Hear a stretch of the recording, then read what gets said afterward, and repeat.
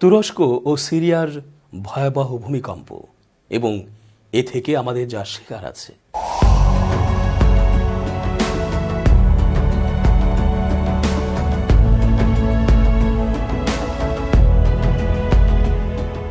আসসালামু আলাইকুম।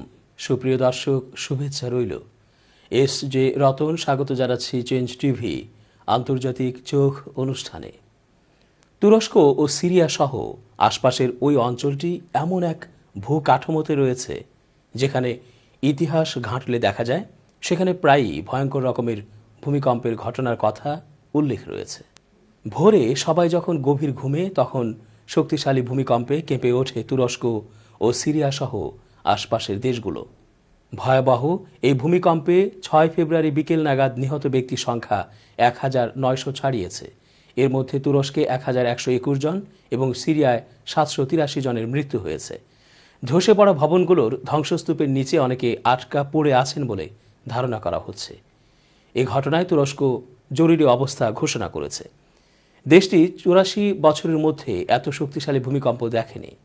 মার্কিন ভূতাত্ত্বিক জরিপ সংস্থা জানায়, স্থানীয় সময় ছয় ফেব্রুয়ারি সোমবার ভোররাত চারটা সতেরো মিনিটে ভূমিকম্পটি আঘাত হানে। এর উৎপত্তি স্থল ছিল সিরিয়া সীমান্তবর্তী তুরস্কের গাজিয়ান্তেপ শহরের কাছে। ভূমিকম্পের মাত্রা ছিল সাত দশমিক আট। সংস্থাটি আরও জানায়, তুরস্কের রাজধানী আঙ্কারা সহ দেশটির অন্যান্য শহরে এবং পার্শ্ববর্তী সিরিয়া সহ প্রতিবেশী দেশ লেবানন, সাইপ্রাস, ইসরায়েলেও এই ভূমিকম্পন অনুভূত হয়। এরপর কয়েকবার পরাঘাত, আঘাত হানে। এগুলোর মধ্যে একটি ছিল ছয় দশমিক চার ও একটি ছিল ছয় দশমিক পাঁচ মাত্রার। আল জাজিরার খবরে বলা হয়, তুরস্কে ক্ষতিগ্রস্ত এলাকাগুলো হল কাহরামান, মারাস গাজিয়ান্তেপ সানলিউরফা দিয়ার বাকির, আদানা, আদিয়ামান, মালত্য, ওসমানিয়ে, হাতায় ও কিলিস। আর সিরিয়ার আলেপ্পো, ইদলিব, হামা ও লাতাকিয়া ক্ষতিগ্রস্ত হয়েছে। ভূমিকম্পে দুই দেশের কয়েক হাজার ভবন ধসে পড়েছে। ঘটনার পরপরই অনুসন্ধানকারী ও উদ্ধারকারী দল কাজ শুরু করে। তবে তুরস্কে শীতকালীন তুষার ঝড়ের কারণে উদ্ধার কাজ ব্যাহত হচ্ছে। তুষারে অনেক সড়ক ঢেকে গেছে। তুরস্কের প্রেসিডেন্ট রজব তাইয়েব এরদোয়ান ভূমিকম্পে হতাহতদের প্রতি গভীর সহানুভূতি প্রকাশ করেছেন। পাশাপাশি এই বিপর্যয়ের মোকাবেলায় জাতীয় ঐক্যের ডাক দিয়েছেন। প্রথম ভূমিকম্পের কয়েক ঘণ্টা পর গাজিয়ান্তেপ থেকে প্রায় আশি মাইল দূরে তুরস্কের কাহরামান মার্স প্রদেশের ইলবিস্তান জেলায় আরও একটি শক্তিশালী ভূমিকম্প আঘাত হানে।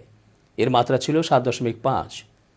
তুরস্কের দুর্যোগ ও জরুরি ব্যবস্থাপনা কর্তৃপক্ষ জানায় এটি কোনো পরাঘাত নয়। এটি নতুন ভূমিকম্প।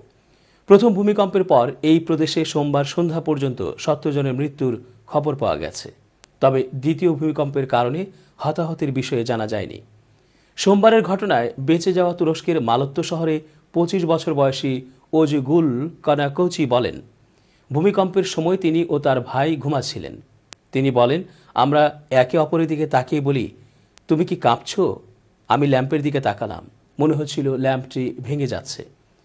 আমরা আমাদের তিন বছর বয়সী ভাতিজাকে সঙ্গে নিয়ে লাফিয়ে বেরিয়ে পড়লাম। ওজগুল কানাকচি বলেন, সব লোক এখন রাস্তায় অবস্থান করছেন। তারা কি করবেন? তা নিয়ে বিভ্রান্ত ছিল।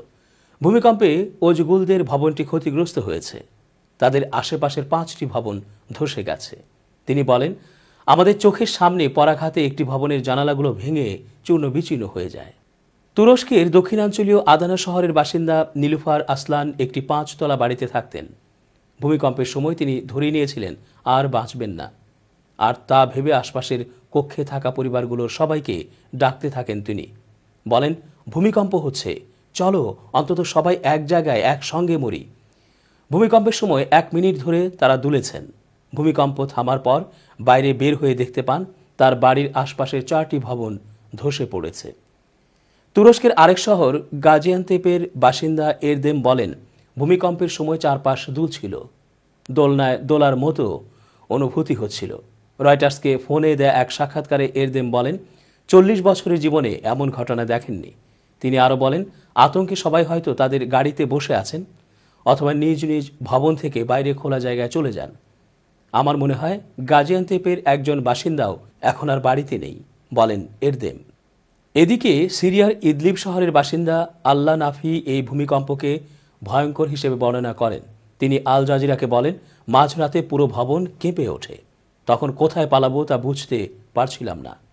এক ভিডিওতে দেখা গেছে, সিরিয়ার আলেপ্পো শহরে ভবনগুলো ধসে পড়ে, ধুলার কুণ্ডলি তৈরি হচ্ছে আর লোকজন আতঙ্কে চিৎকার করে পালানোর চেষ্টা করছে। তুরস্কে প্রথম ভূমিকম্পের কেন্দ্রস্থলের অঞ্চলে ভারী বৃষ্টির আশঙ্কা করা হচ্ছিল। আবহাওয়ার পূর্বাভাসে বলা হয়েছিল, দিনের তাপমাত্রা তিন থেকে চার ডিগ্রি সেলসিয়াসে নেমে আসবে আর রাতে তা হিমাঙ্কের নিচে থাকবে। প্রায় তিন থেকে পাঁচ সেন্টিমিটার পুরু তুষারপাত হতে পারে। আর উত্তরে ভারী তুষারপাতের আশঙ্কা করা হচ্ছে। আরও পার্বত্য অঞ্চলে আগামী দিনগুলোর তাপমাত্রা হিমাঙ্কের ওপরে উঠবে না বলে মনে করা হচ্ছে, যার অর্থ পঞ্চাশ থেকে একশো সেন্টিমিটার তুষারপাত হতে পারে। প্রথম ভূমিকম্পে তুরস্ক অন্তত দুই হাজার আটশো ভবন ক্ষতিগ্রস্ত হয়েছে। এর মানে হাজারো মানুষ এখন খোলা আকাশের নিচে। তুরস্কের ভাইস প্রেসিডেন্ট ফুয়াদ ওকাতে বলেন, যত দ্রুত সম্ভব আমরা দুর্গতদের কাছে পৌঁছাতে চেষ্টা করছি। প্রচণ্ড ঠান্ডা, অনেক মানুষ ঘরবাড়ি হারিয়েছে তারা খোলা জায়গায় আছে। ইতিমধ্যে সিরিয়ার উত্তরাংশের লাখ লাখ মানুষ তাঁবুতে ঠাঁই নিয়েছে। ইউনিভার্সিটি, কলেজ, লন্ডনের ভূকম্পনবিদ স্টিফেন হিক্স বলেন, উনিশশো উনচল্লিশ সালের ডিসেম্বরে তুরস্কের উত্তর পশ্চিমাঞ্চলে সাত দশমিক আট মাত্রার ভূমিকম্প হয়েছিল। ওই সময় ত্রিশ হাজার মানুষ নিহত হয়েছিল। এ ঘটনার পর উনিশশো নিরানব্বই সালে সাত দশমিক ছয় মাত্রার ভূমিকম্প ইস্তাম্বুলের দক্ষিণে তুরস্কের মারামারা অঞ্চলে আঘাত হানে। এতে সাড়ে সতেরো হাজার মানুষ মারা গিয়েছিল। তুরস্কের ভাইস প্রেসিডেন্ট ফুয়াদ ওক্তার বলেছেন, ভূমিকম্পে ক্ষতিগ্রস্ত তুরস্কের দশটি শহর ও প্রদেশের স্কুলগুলো এক সপ্তাহের জন্য বন্ধ করে দেওয়া হয়েছে। শহর ও প্রদেশগুলো হলো কাহরামান, মার্স, হাতায় গাজিয়ান্তেপ ওসমানিয়ে, আদিয়ামান, মালতা, শানলিওরফা, আদানা, দিয়ারবাকির ও কিলিস। তুরস্কের দক্ষিণাঞ্চলের আদানা বিমানবন্দর বন্ধ করে দেওয়া হয়েছে বলে জানিয়েছে বেসরকারি বার্তা সংস্থা দেমিরোরেন। এছাড়া মারাস ও আন্তেপের বিমানবন্দরগুলোতে বেসামরিক ফ্লাইট চলাচল বন্ধ রাখা হয়েছে। সিরিয়ার জাতীয় ভূকম্পন কেন্দ্রের প্রধান রায়েদ আহমেদ রাষ্ট্রীয় বেতার স্টেশনকে বলেন, আমাদের এই কেন্দ্রের ইতিহাসে এটি সবচেয়ে বড় ভূমিকম্প। উনিশশো পঁচানব্বই সালে কেন্দ্রটি প্রতিষ্ঠিত হয়। আলেপ্পোর স্বাস্থ্য পরিচালক জিয়াদ হেগ তাহা রয়টার্সকে বলেন, ঢেউয়ের মতো আহত মানুষ হাসপাতালে আসছিল। সিরিয়ার রাষ্ট্রীয় টেলিভিশনের ফুটেজে দেখা যায়, উদ্ধারকারী দলগুলো ভারী বৃষ্টি ও তুষারপাতের মধ্যে বেঁচে থাকা মানুষদের খুঁজছে। বিদ্রোহীদের নিয়ন্ত্রণে থাকা সীমান্তবর্তী শহর আজাজে দেখা গেছে, ধসে পড়া ভবনের ধ্বংসস্তূপের নিচ থেকে এক শিশুকে উদ্ধার করে নিয়ে আসা হচ্ছে। আরেকটি গ্রুপকে দেখা গেছে, একটি ক্রেনে কংক্রিটের স্ল্যাব টেনে নিয়ে যাওয়ার সময় সাদা চাদরে মোড়ানো একটি লাশও নেওয়া হচ্ছে। দিয়ার বাকিরের ত্রিশ বছর বয়সী এক বাসিন্দা বলেন, ভূমিকম্পের সময় তীব্র শব্দে আমাদের আশপাশের ভবনগুলো ধসে পড়ে। আমি দৌড়ে বাইরে আসি। চারপাশে শুধু চিৎকার। আমি হাত দিয়ে পাথর সরাতে শুরু করলাম। এরপর বন্ধুদের নিয়ে আহত ব্যক্তিদের বের করতে শুরু করলাম। কিন্তু চিৎকার থামেনি। তারপর উদ্ধারকারী দলগুলো আসে। ভূমিকম্প নিয়ে কম বেশি আতঙ্ক সবার মধ্যেই আছে। ছবির মতো সুন্দর তুরস্কে ভূমিকম্পে যে ক্ষয়ক্ষতি হয়েছে তাতে বাংলাদেশেও অনেকে আতঙ্কে ভুগতে পারেন। এতটুকু নিশ্চিত করে বলা যায়, ওই ভূমিকম্পের প্রভাব আর যাই হোক, বাংলাদেশে পড়বে না। তুরস্কের আনাতোলিয়ায় যে ভূগর্ভস্থ চ্যুতি বা ফল্ট রয়েছে, সেখান থেকে ভূমিকম্পটির উৎপত্তি হয়েছে। প্রায় দেড় হাজার কিলোমিটার দীর্ঘ, ওই ফল্ট বেশ সক্রিয়।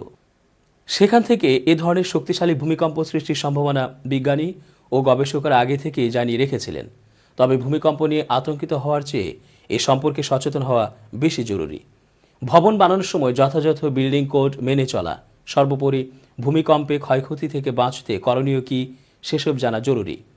পৃথিবীর উপরিভাগকে ভূত্বক বলে। এই ভূত্বকে কোনো ফাটল বা ফল্ট বরাবর শিলারাশির হঠাৎ স্থানচ্যুতি হলে ভূপৃষ্ঠে যে ঝাঁকুনি সৃষ্টি হয় তাকেই আমরা ভূমিকম্প বলি।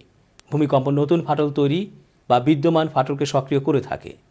সাধারণত বিদ্যমান ফাটল দিয়ে সঞ্চিত শক্তি নির্গত হওয়ার প্রবণতা বেশি থাকে। ফাটল দৈর্ঘ্যে কম হলে স্থানচ্যুতির পরিমাণ কম হবে। কিন্তু এটি বড় হলে স্থানচ্যুতির পরিমাণ বেশি হবে। তাই স্বাভাবিকভাবেই ভূমিকম্পের মাত্রাও বেশি হবে। তাহলে শিলারাশির স্থানচ্যুতির জন্য ভূ অভ্যন্তরে প্রচণ্ড শক্তির প্রয়োজন। দীর্ঘ সময় ধরে এই শক্তি চলমান প্রক্রিয়ায় ভূত্বকের মধ্যে সঞ্চিত হচ্ছে। এই শক্তি ভূত্বকের শিলার সহনীয় মাত্রা অতিক্রম করলেই নতুন ফাটল সৃষ্টি বা পুরনো ফাটল সক্রিয় হয়। তা ফাটল দিয়ে বের হওয়ার চেষ্টা করে, আর এ সময়ই ভূমিকম্প হয়। সঞ্চিত শক্তির পরিমাণ যত বেশি হবে, ভূমিকম্পের মাত্রা তত বেশি হবে। ভূত্বকে এই শক্তির জমা হওয়া নির্ভর করে সময় ও প্লেটের গতির ওপর। স্বল্প সময়ে কম শক্তি এবং দীর্ঘ সময়ে বেশি শক্তি ভূত্বককে জমা হয়। ভূমিকম্প, অগ্নুৎপাত, পাহাড়, পর্বতের সৃষ্টি এই সব কিছুই করে থাকে টেকটনিক প্লেট। বাংলাদেশ তিনটি টেকটনিক প্লেটের সংযোগস্থলে অবস্থিত। পশ্চিম ও দক্ষিণ পশ্চিম দিকে ভারত প্লেট, উত্তরে তিব্বত উপপ্লেট এবং পূর্বে ও দক্ষিণ পূর্বে রয়েছে বার্মা উপপ্লেট। ভারত ও বার্মা প্লেটের সংযোগ বাংলাদেশের মধ্য দিয়ে বঙ্গোপসাগরে চলে গেছে। পূর্ব অংশটি বার্মা প্লেট এবং পশ্চিমাংশ ভারতীয় প্লেটের অন্তর্গত। শিলং মালভূমি ভারত প্লেটের মধ্যে ক্ষুদ্র একটি প্লেট। এটি দক্ষিণ দিকে এগিয়ে চলেছে ধীরে ধীরে। ভূতাত্ত্বিক গঠন ও টেকটনিক কাঠামোর কারণে বাংলাদেশ ভূমিকম্প প্রবণ এলাকা। বিশেষ করে ঢাকা, সিলেট, চট্টগ্রাম ও পার্বত্য চট্টগ্রাম অঞ্চল ভূমিকম্পের ঝুঁকিতে রয়েছে। বাংলাদেশ এবং পার্শ্ববর্তী দেশের ভূতাত্ত্বিক ও টেকটনিক কাঠামো বিশ্লেষণ করে ধারণা করা যায়, সুদূর ও নিকট অতীতে এ অঞ্চলে ভয়াবহ ভূমিকম্প হয়েছে। বাংলাদেশের অভ্যন্তরে ও পার্শ্ববর্তী এলাকার, অর্থাৎ উত্তর ও পূর্ব দিকে ভূতাত্ত্বিক চ্যুতি রয়েছে। পূর্বাংশের পাহাড়ি অঞ্চল সাবডাকশন জোন যেখানে ভারতীয় প্লেট বার্মা প্লেটের নিচে তলিয়ে যাচ্ছে।